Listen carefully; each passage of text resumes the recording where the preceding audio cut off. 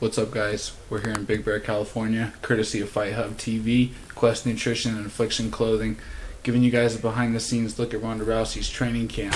So make sure you guys follow us all on Twitter because we're going to be giving away a pair of signed shorts signed by Ronda herself and the Diaz brothers, along with a box of Quest Nutrition bars and all kinds of other cool stuff. So let's go take a look and see what the champ's doing.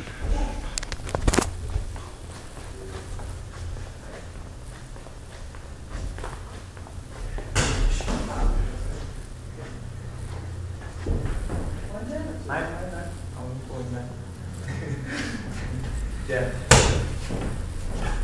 Go. Exactly. See the third one? What happened? Stay tuned.